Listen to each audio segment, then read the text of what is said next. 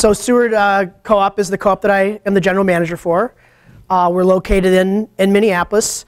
Uh, we've had a very uh, uh, dramatic growth uh, narrative.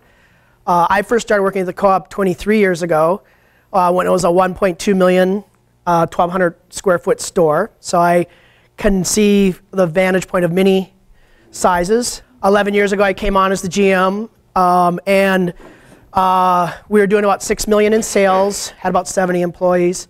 And by uh, 2008, we were doing 12 million. And uh, the fiscal year that we're in right now uh, will be hitting 34 million in sales. Uh, the store itself, in terms of size, is about 13,000 square feet. Uh, we're at 20, 240 employees. we have 13,000 owners. And right now, we have two projects under construction for a total of uh, $15 million of, of projects under construction. To do that, we had to uh, raise quite a bit of capital. Uh, and I'm going to talk a little bit about raising that capital and how that is uh, a really uh, an important part of uh, our competitive advantage when we have a, a community of support behind the operations that we have. And one of the key questions I think is there is how did we so quickly get to redevelopment after building such a, a large project. So when we did the project uh, several years ago, it was about a $10.5 million project as well. So we went from, you know, uh, uh, a lot of new development in a very short period of time. Um, so it's always important to start with the ends. You know, so at Seward Co-op, you know, we're about sustaining a healthy community with equitable economic uh, relationships, positive environmental impacts, and inclusive socially responsible practices. Not, not a whole lot about groceries in there, even though we're very much in the industry of groceries. Um, so, you know, we built the store on, down the street on Franklin, had that really incredible, successful uh, launch. And within a couple years, you know, we accomplished what the market study said we'd do in five years. And the board started asking, well, at what point is this going to be uh, too small of a store to meet the needs of people coming to the co-op to get their needs met? And I kind of casually wrote, looked down the street at the wedge and said, 30 million. You know, the wedge is doing 30 million. You know, I think 30 million is the point where we really, really need to have a project under construction. And, and our growth continued to be very dynamic. And, uh, you know, we really started to ask questions about, you know, how do we realize these ends? How do we operationalize them and, and, and, and realize the kind of uh, dynamic that we want to have that's articulated in this ends. Um, and so we, we came up with uh, a long-term uh, vision and a strategy to accomplish that. And at the you know, heart of our long-term vision is this idea around creating commonwealth. You know, that's a, a word that's, for some people it means a state. You know, why are you talking about creating a state? You know, there's a lot of questions with this, this word. But if you actually start to dig deeper into the meaning of the word and kind of cycle back to its origin, the origin of the word meant the well-being of others, the well-being of all, the common good. And, but it also had an economic activity built behind that. You know, and as you start to think about what we're accomplishing as a cooperative, it, it seemed to me to be the, the right word. Originally, we wrote this, we actually had another one, which was called uh, a cooperative zone you know, I went to Mondragon, learned about the Mondragon cooperative system, and they have a, a zone of cooperation there that's pretty significant in their economy. And so that was kind of like the touchstone of where that went. But, you know, this word actually captures it better. But there's a few other things then. how are we going to accomplish that? You know, what business strategies, as the leader of the co-op, the general manager, what business strategies are we going to take to get there? You know, so one of the things is that, you know, we want to sell sustainably made product, and we actually want to make it. You know, we want to make those products, those products uh, that don't exist necessarily in the marketplace. We want to um, create what are called sometimes third places, or we call it gathering spaces here, because we think that you know, if we're going to sustain a healthy community, we have to have a space for people to gather. You know, community over food needs a common space. Uh, and then finally, if we were to take our thinking and go out 10, 15, 20 years, you know, what does that look like?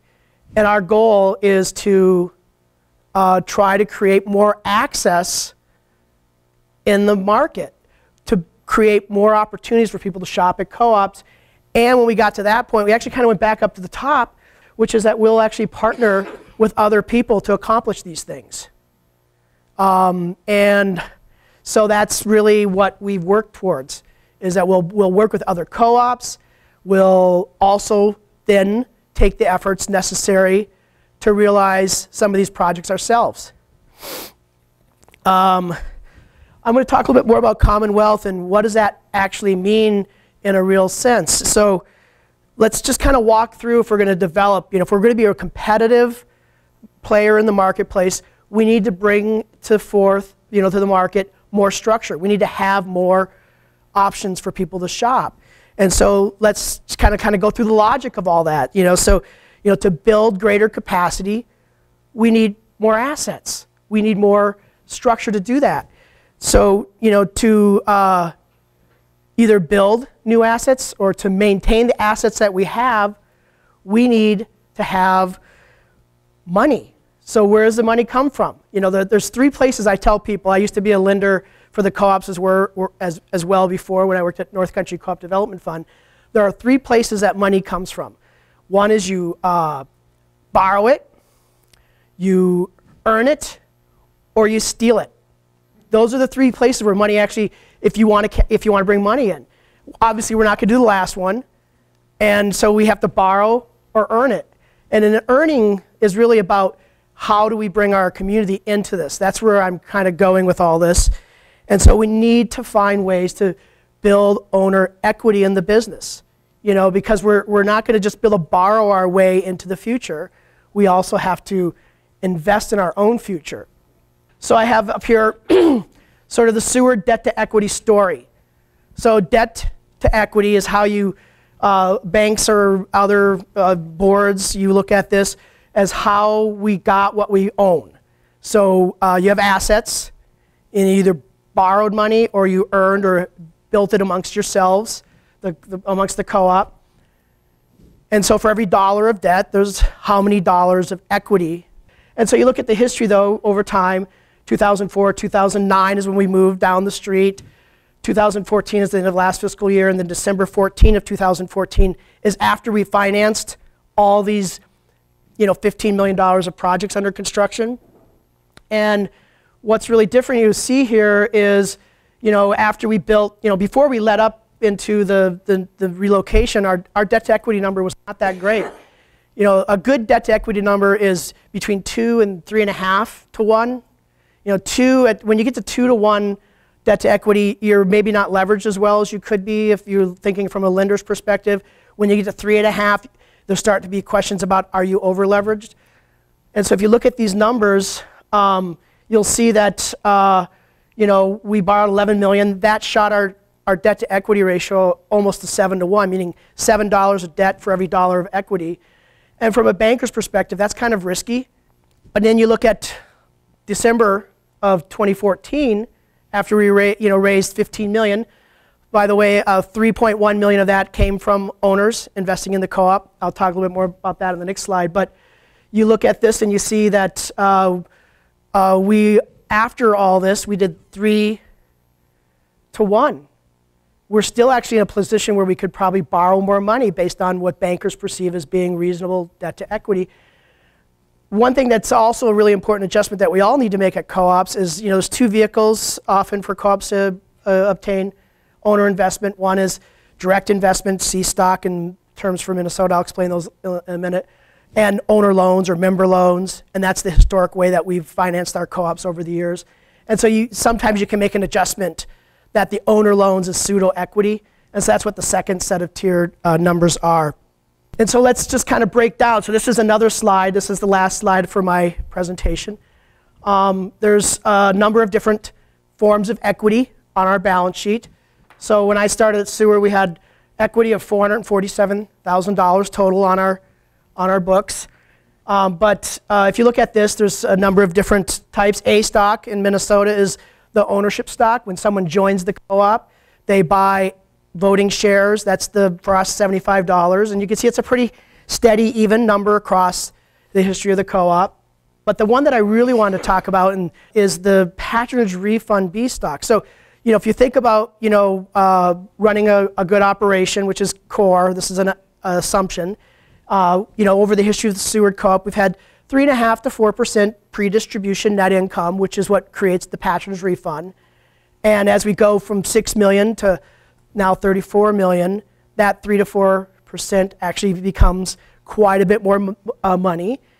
Uh, in the last few years, it's been more around like $800,000 is what our patrons refunds have been running. And so then the question is how much of that's distributed in cash. The board has to make that decision. And how much is distributed in, in equity, in B stock, allocated uh, value to the owner. And part of what I'm wanting to talk about here is really the importance of that B stock piece. And uh, it's been the biggest growth of equity for Seward Co-op. And we've actually, since I started at the co-op 20 plus years ago, we've always had this view that B stock should be stay in the co-op. It should never be uh, repurchased, never be redeemed. And the reason why is there's always a need for capital for the co-op. But the, the, um, but the real question becomes if, you really, if we're really wanting to grow the market more effectively, we have to ask ourselves how are we going to build the capital basis to leverage to the future? You know, and this is actually a really important vehicle, and there's actually some really rational and lo logical reasons why this should be part of our consideration about how we capitalize the future. And the reason why is that if you think about uh, how the patronage refund is, is distributed, it's distributed proportional to use. Whoever uses the co-op more uh, gets a bigger share of the profit. If you think about the wear and tear on the business and the who proportionally had more wear and tear on the business, it would be people who use the store the most. So the patronage refund vehicle is actually a very good way to match the use of the co-op's assets with the investment requirement of the co-op. You know, obviously, when you go to look at, at, at building greater capacity, you, there's maybe some counter logic that could be, you know, that could undermine that a little bit. But I actually think there's some real value because what happens is the co-op grows and, and has more and more people demanding use of its space is there is a need to, to move and have additional uh, spaces for them. So the, the, the question becomes, you know, with B stock is, you know, isn't that the owner's money? And the answer is yes, absolutely. But it's also the owner's co-op. You know, so shouldn't the owners of the co-op reinvest? And so my, my point is, because I've, I've heard this in the past through peers and conversations, that, you know, this is just money on loan temporarily, and we have to repurchase it sometime down the road. I think there's a good argument for that this should actually never be repurchased unless the co-op ceases to exist. Because as, for as long as the co-op is going to exist, there's going to be a need for capital. There's going to need to be reinvestment in the, in the co-op. And it, it has a very strong basis to have that reinvestment proportional to use. And um, at the end of the day, it is a board decision. And one of the reasons why I really felt like this is a great opportunity to talk about this particular topic is that board members should really think about what is their role in governance. It's to represent the interests of the owners of the co-op, right? And to safeguard and provide a strong fiduciary uh, basis for the co-op to exist for the next generation, to leave something for the future and not just live in the, the now. And so that's my conversation about equity and how to build equity. Obviously, you need to grow your operations to build the equity through Patron's refund, and you need to have solid operations and share the profits proportionally to use. But if you do that, there's actually a very good avenue for building a stronger balance sheet.